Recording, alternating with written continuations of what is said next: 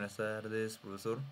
Hoy me tocó hacer el circuito número 3, que es un flip-flop JK, que es básicamente este, casi lo mismo que un flip-flop RS, con la diferencia de que este lleva un reloj que habilita o deshabilita este, integrado, lo cual funciona en lógica negativa. Entonces el reloj va a funcionar, va a prender este o va a hacer funcionar este, este integrado con un flanco bajo, que sería un 0. Aquí podemos ver este, en el estado en el que está el reloj, ahí está en flanco bajo y luego está en flanco arriba, que es 1. Entonces vamos a, a, hacerlo funcionar. Primero empezando con la J, que es el seteo, añadirle un valor, o sea, guardarlo acá. Y cuando esto esté en bajo, esto aquí pasa al otro lado prendiéndose y la Q negada se apaga.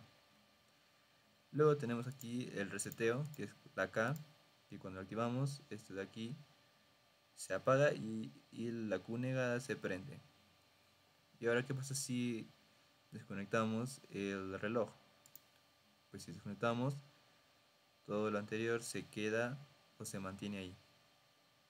¿Y qué pasa si también este, abrimos la J acá?